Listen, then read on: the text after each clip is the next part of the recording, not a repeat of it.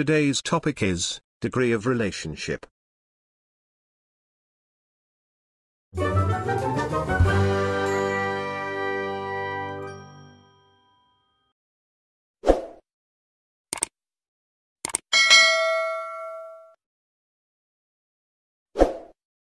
In the previous video, we have learnt about relationship in the ER diagram.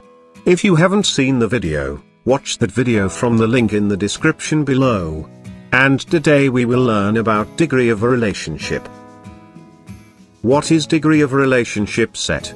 It is the number of entity set that participates in the relationship set of an ER diagram. Based on the value of degree, there are different types of relationship set. Let's discuss them one by one using examples. First is binary relationship set, that is degree is equal to 2. Here in this example, the relationship set, teaches, relates two entity sets, teacher and student. As two entity sets have participated in this relationship set, so its degree is 2, and hence called binary relationship set. Next is ternary relationship set, that is degree is equal to 3. Here in this example, the relationship set, part of, relates three entity sets, teacher, student and institute.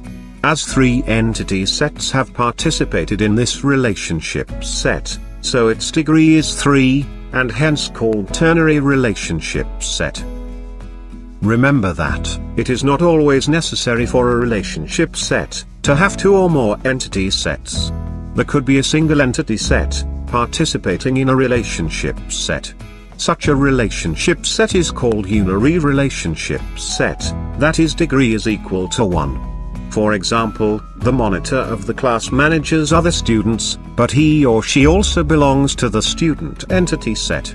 Two ways to represent an unary relationship set, in an ER diagram, are shown on the screen. Hence theoretically, the relationship between n entity sets can be termed as n-ary relationship. A diagrammatic representation of n-ary relationship set, is shown on the screen. It should be noted that, in ER diagrams, relationships up to degree 3 that is ternary relationships, are mostly in use. Hope you have understood the topic.